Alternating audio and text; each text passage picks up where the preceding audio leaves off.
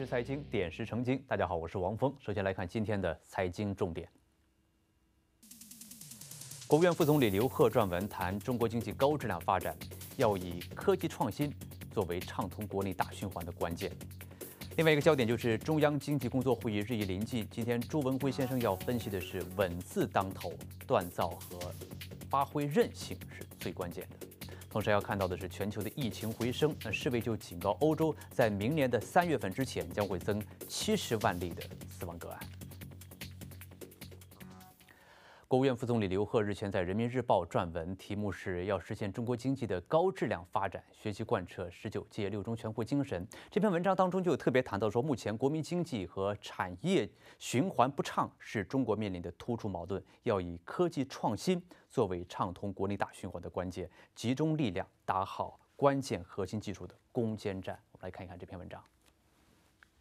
中国人民日报周三刊登了刘鹤的署名文章，提出必须实现高质量发展，要坚持创新、协调、绿色、开放、共享发展相统一。文章提到，要扩大中等收入群体，不搞平均主义，不搞杀富济贫、杀富致贫，避免掉入福利主义陷阱。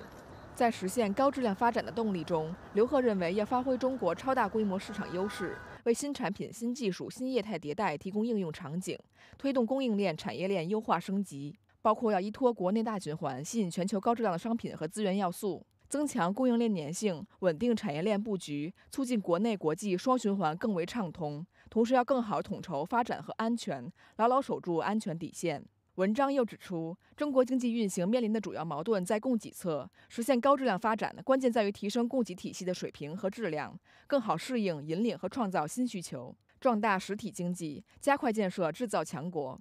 在金融运行中，文章指要坚持建制度、不干预、零容忍的方针，打造规范、透明、开放、有活力、有韧性的资本市场。文章又提出，要强化市场监管和反垄断规制，防止资本无序扩张，维护市场秩序，并要鼓励平台经济创新。凤凰卫视综合报道。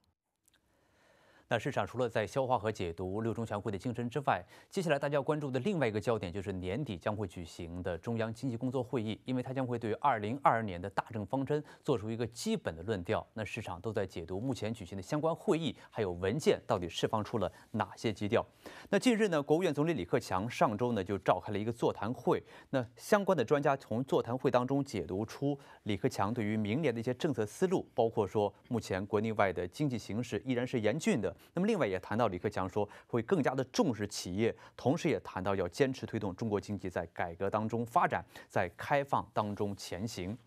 当然，要说到中国经济近期中国小微企业他们的一些措施，呃，最近是受到了各方关注，因为中中央啊，尤其是国务院出台了有三份文件啊，一加二长短政策组合拳，希望能够帮助企业纾困、激发活力，包括了很多方面，像涉及到减税降费，还有资金支持等等。那么，人民银行的官员也表示，也会继续运用货币政策工具来降低企业的融资成本，并且会适当的提高风险的容忍度，尤其是增加制造业。中长期贷款的一些投放。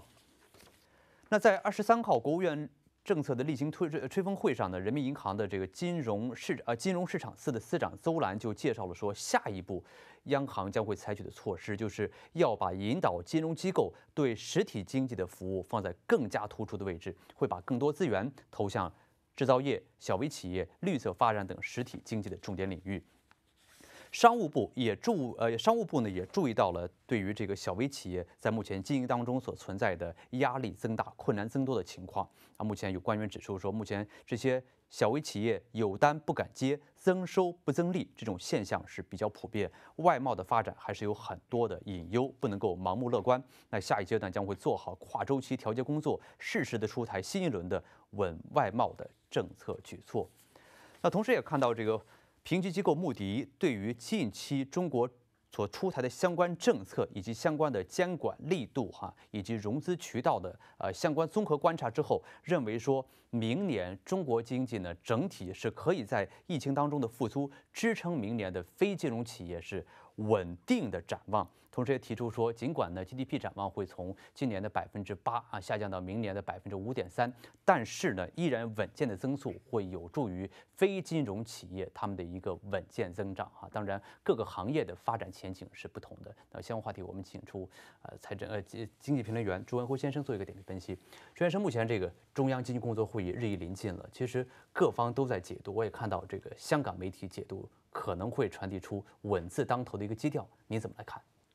我认为呢，这个稳字当头还是很好的一个基调，因为呢，整个世界啊还是一个高度的波动当中，同时呢，中国内部也有不均衡、不持续的相应的结构性的问题需要去克服，比如说一些长期积累的问题，它也是到了需要克服的时候。那对于中国经济的长期走势和整个大的政策方向，可以看一下，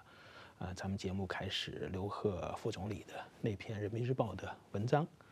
呃，除了稳这个基调之外，很重要的就是要继续锻造和发挥中国经济的韧性。你看，从去年到今年，一直到现在这个阶段，其实在全球的竞争当中，竞争的就是谁的韧性最好。谁能够稳住，在冲击面前能够稳住，谁就把机会把握住了。从最开始，我们能够大量出口口罩，既救了这个全世界很多人的命，其实呢，从产业、从企业来说，又赚了很多钱。那么到了这个今年德尔塔病毒在冲击东南亚的时候，你发现，呃，很多这个企业又来到中国，继续在采购最需要的，像这个纺织品啊、服装啊、鞋类。那么，呃，包括这个汽车供应链受到很大的冲击，但是呢，中国有几家自己的芯片是做的不错的，它的产量就上来了。还有这个整个海运啊、运输等等，你都可以看到，这个韧性可能是明年很重的一个关键词。嗯，要谈到中国经济韧性的话，依然是离不开资本市场的支持。我们来看一下，中国证监会的副主席方星海日前在出席相关的金融论坛的时候，就特别的指出，说证监会正在研究制定资本市场支持碳中和、碳达峰的一些具体措施，加大对于低碳绿色企业的融资支持力度，并且呢，研究要完善上市公司的环境信息披露相关的一些制度。在同样的金融论坛当中，证监会副主席方星海呢也谈到说，中国证监会将会以注册制改革作为一个抓手，持续的加强资本市场制度建设，提升市场的深度还有流动性，继续优化和拓展互联互通等。跨境投资渠道。那么在这场金融论坛当中呢，他说了一个数字，就是截止到十月末，中国的呃外资持有 A 股的流通市值达到三点六七万亿元，那占比呢是大约百分之五。当然，那国际投资者也非常关注目前中国市场是否依然适合投资，就是说目前的这些行业监管新规的出台有没有影响这个在中国市场的投资逻辑？那近期的一个论坛当中，国际投资者认为说，其实国际的投资者对于中国市场是。有一些误读的，包括说近期中国市场出台了对于像娱乐、互联网消费以及像这个游戏等的监管新规。其实这些新规的出台并非是突然间就到，而是是有一些迹象可循的。因为比如说像去年十二月之后，中央政府就曾经对于互联网今年的一些发展前景做了基本的一些判断，同时在去年八月的时候，对于房地产的一些市场的情况也曾经做过相关的判断。那么近期大家除了关注资本市场，另外一个就是能源的危机。尽管说从八月底开始呢，能源危机显现之后，那中央多部门已经是多措并举哈，平稳了这个呃能源的一些保供应情况。那目前其实中央的力度依然是不减。我们看到在十一月二十二号到二十三号，那李克强总理在上海考察期间，也特别考察了上海外高桥第三发电公司，谈到说电力是经济运行的动力，要采取措施，千方百计的。保障民生，还有企业正常的生产用电，而各级政府呢，也要进一步加强支持，落实好相关的政策。那同时也看到市场也在着力的发力，像这个中国呃。证监证券网的一个消息说，国家电网有限公司正在按照国家发改委和能源局的相关要求，正式印发了省间电力现货交易的规则试行，就是要求要激发市场主体活力，通过市场化的手段实现全网电力的一些余缺的互济，这样的话就可以建立起统一市场、两级运作啊这样的一种电力的交易模式。而多省市呢，也是采取了相关措施，希望啊能够调整这个巅尖峰时的电价。像从十月中旬以来，先后有陕西、江苏、湖南、青海等多个省份都是出台了相关的措施哈，尖峰电价的浮动上下浮动的是百分之二十左右，其中辽宁省的幅度是最大，扩大到了百分之二十五。那近期我们看到有一些在零售业界有一个比较爆炸性的消息，就是在中国开的第一家沃尔玛，已经是长达二十五年的一个沃尔玛的老店，在深圳罗湖却要宣布将会在下个月就要正式的关店，让大家感受到这个外商的这些零售企业目前在疫情、在电商、团购还有本土竞争者的。这个冲击之下，他们的生存现状如何？那么这家即将关闭的这个在罗湖的沃尔玛呢，是九六年进入中国的，这也是当时第一家这个中国门店啊。超市也是开启了很多中国人对于这个线下超市的一些想象。当然，尽管沃尔玛呢已经关闭了，是有一百零七家在这过去五年当中，但现在依然是有四百多家超市啊在中国，其中。之所以说像沃尔玛、像英国的乐购，还有韩国的这个乐天玛特，他们不得不去选择关闭啊，刚刚谈到了一些原因，是像电商团购等啊，还有一个很重要的点，那就是目前像房租、水电费还有人工费在不断的上涨哈，他们的一些利益被蚕食，留下来的外资企业呢，只能去找一些本土的合作伙伴去啊予以生存下来。这是这个零售商超在中国的这些生存状态。然而，在美国，其实他们的生存状态也是不佳，因为一些电商也是新的崛起，一些新的商业模式涌现。像纽约呢，最近出现了一个十五分钟送达的一些服务的 app。这个 app 呢，跟过去像这个呃外卖啊，从这个商家去拿货，然后再送给消费者不同。那么这些。App 它本身呢是有自己的货源，可以保证最快的时间给它配货，同时在路上快递十五分钟内到达。所以说，很多的纽约市民认为自己家里不需要存货，不需要外出购物，也不需要冰箱。那即将感恩节将会在本周来临，但是美国的沃尔玛却宣布将会在感恩节当天要谢啊闭门谢客。那其中一个很重要的原因是疫情，另外一个原因就是不希望有大量的人流涌入啊，希望能够保障一线员工的安全。尽管节日临近，那美国的很多零售品的这个商店，哪怕是日用品或者说奢侈品售或奢侈品店哈，却心里是非常不安，因为频繁出现一些抢劫案啊，很多的绑匪啊，很多的这些这个抢劫犯呢，他们是明呃蒙着面，然后闯入商店，带着一袋袋的商品就跑出来，然后开车逃离，尤其是在旧金山这样的情况是非常的多。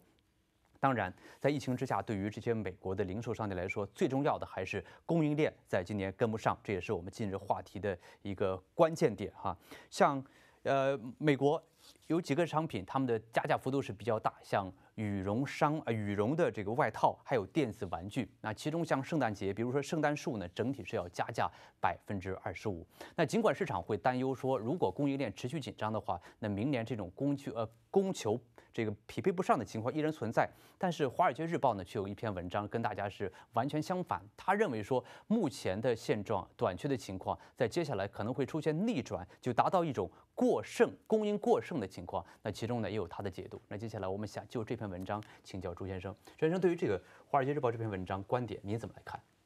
这种情况是完全有可能的。所以对于企业，还有相关行业，包括运输业。它都要十二分的警惕，因为我们知道，从疫情发生到现在，整个经济的最大特点就是忽左忽右，对吧？忽热忽冷，可以呢一瞬之间就发生巨大的改变。从刚才这组新闻的情况看，像零售是面临最大冲击的，因为它本身就面临这个电商的冲击，而且电商已经做成了全球第一大市值的企业——亚马逊。那么，在这个疫情冲击下边，这些有实体店的，当然自己他也在发展电商，但是可能最终啊，还是实体店很起很重要的，在感恩节到圣诞节这个假期，他们就选择呢提早存货，然后呢过度的增加库存。如果说出现像现在奥地利这样的情况，就可能会出现逆转，因为它存了好多东西在仓库里边。在在这个货架上面，本来想着这个圣诞节，还有感恩节要卖的，突然宣布要封城了，所以呢，我看这个奥地利的新闻，就是很多人也想去买，结果就买不到了。如果说这个时候你没有一个很便利的电商渠道，把它通过电商走掉的话，那商品就库存那里，然后很连带的就会从生产到运输这条线就出现逆转。所以我们说呢，这个逆转不一定是必然的，但是呢，对于整个供应链上的各家企业来说，它必须要有这个心理准备才行。嗯，好，谢谢朱医生点评分析。我们休息片刻，稍后继续回到今日财经。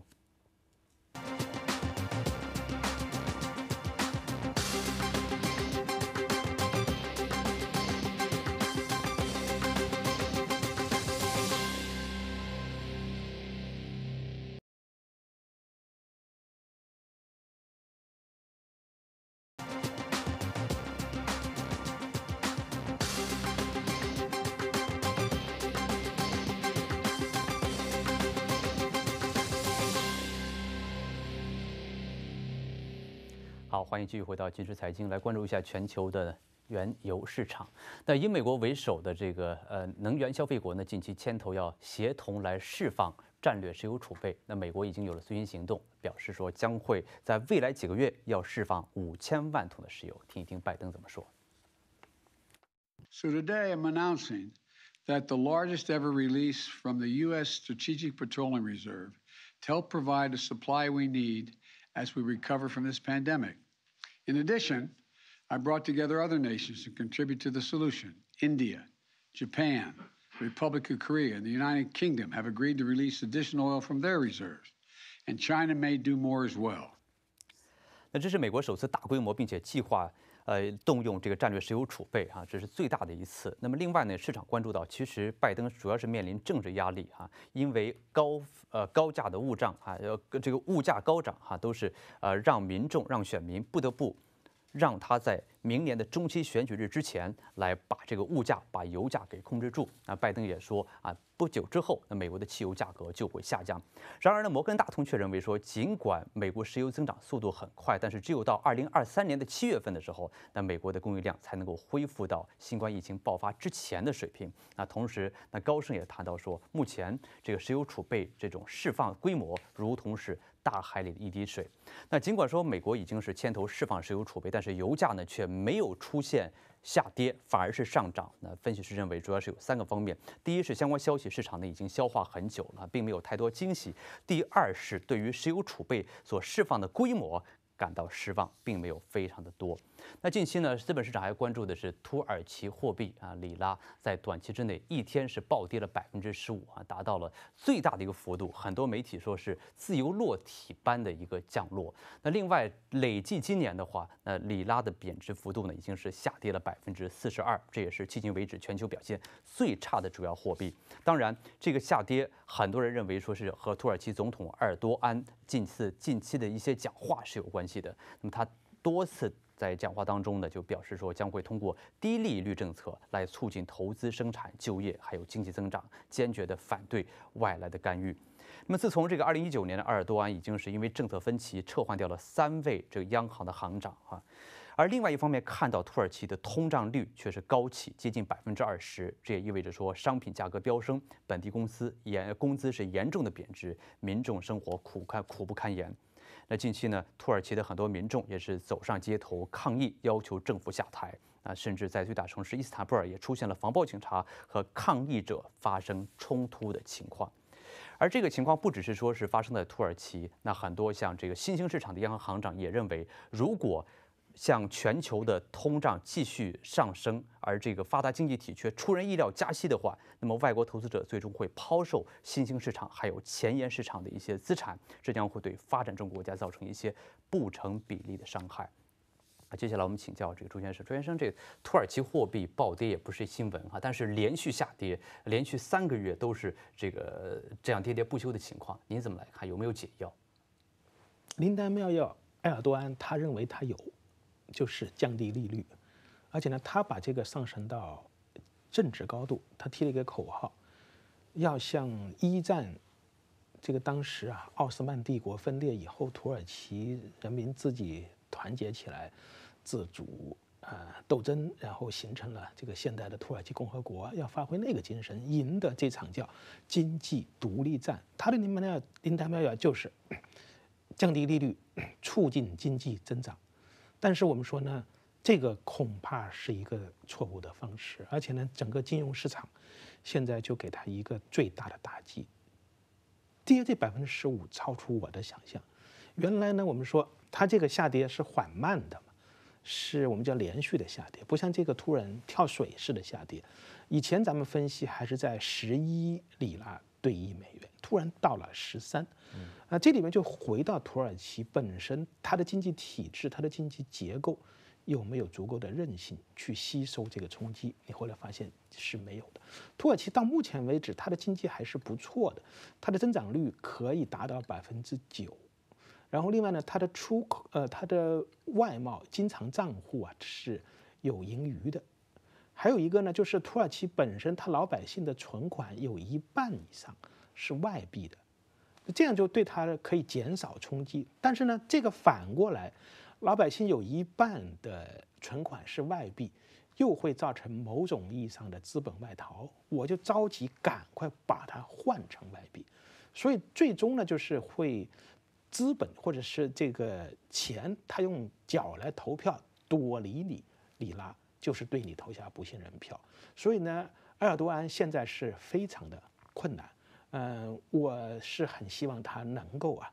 呃，在这个悬崖当中把这个马给勒回来。但是现在看来呢，他还是义无反顾的要往前冲了。好，谢谢朱先生。那新兴经济体呢有新兴经济体的烦恼，然而呢发达经济体也有他们的烦恼，尤其是欧洲。那目前的几个国家都是遭遇着疫情的反弹，甚至呢引起了世卫组织的一个关注。世卫组织预计说到明年的三月份之前，如果说照这个速度发展下去的话，欧洲的。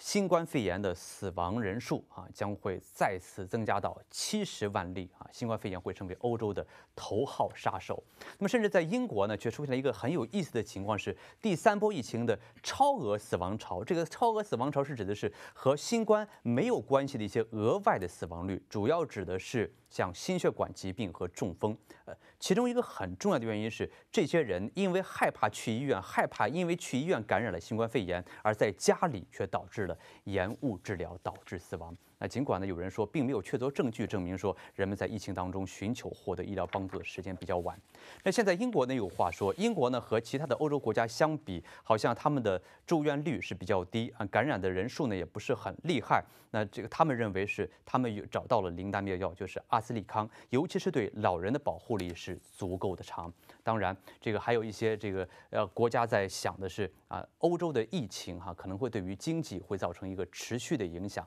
那接下来我想。请教朱先生的是，那目前欧洲疫情反弹，您觉得，尤其是在美国，其实也一样，哪怕韩国也是有类似的情况，对于第四季度的全球经济会造成什么影响？呃，应该说影响会比较大，而且是朝这个悲观的方向走。你从全球的这个经济反弹来看，咱们原来预计的路径啊，就是中国首先反弹，呃，第一、第二季度很高，然后美国呢第二季度，希望第三、第四季度欧洲来接续。但是现在看来呢，欧洲呢是接续不上。欧洲的很多国家现在已经开始封城或者半封城。就咱们刚才讲的，像零售的案例，奥地利一封城之后，你就发现百货商店开不了了，你存了很多货也卖不出去了。那么这个经济肯定就是往下走。所以呢，等于说欧洲它还没有实现中国和呃美国这样的反弹到呃这个新冠以前的这么一种高峰状态就。就掉下来了，啊，但掉了多久啊？会怎么一个掉法很重要，就取决于英国它这个全面开放之后，到现在英国也没有采取某些特殊的措施。来限制，不像呃丹麦原来宣布完全放开，连夜总会、酒吧完全都放开，什么都不要，现在又开始局部的限制。对美国那边呢，有些州还是有这个自主性的，虽然很多州还是继续放开，但是美国人决定这个今年这个感恩节啊，还是要全国去旅行，还是要回家去，啊和家人一块去度过。嗯，那么英国为什么它重要呢？一个就是英国从七月下旬放开到现在，感染的数字虽然在四万五万，甚至可能还高一点，但是呢，他说他的住院率和死亡率就是低于欧洲其他的同样的国家。那么，所以呢，刚才那个阿斯利康就说了，你们原来老攻击我，哎，现在看来我的这个疫苗是比你们要管用。其实呢，有另外一种说法。那就是英国，因为他早就放开，或者说原来约翰逊他就不那么认真的对待这个病毒，所以他的群体啊自然免疫力要比德国要比欧洲其他国家要高得多啊，所以你在伦敦找个人来验一下他这个抗体，可能发现都是有抗体的啊，不一定是打疫苗形成的抗体，而是自然的，而且这个自然形成的抗体可能又比疫苗的抗体呢时间又长一点。但是无论如何，就是英国会不会出问题？呃，会不会出现这种死亡的人数过多，或者是住院的人数过多，又让医疗系统面临重大压力，选择封城？它其实考验的是整个呃美国、欧洲这个体系对于疫苗到底有多大作用？因为从韩国的情况来看，确实是不妙的。韩国那个文章，我们为什么最后一个把它选进去？就是发现呢，韩国人自己研究，现在住院的六十岁以上的人。百分之八十都是完成了接种的，所以韩国人就是呼吁赶快去打第三针。好，谢谢朱先生点评分析，也谢谢大家收看，我们明天见。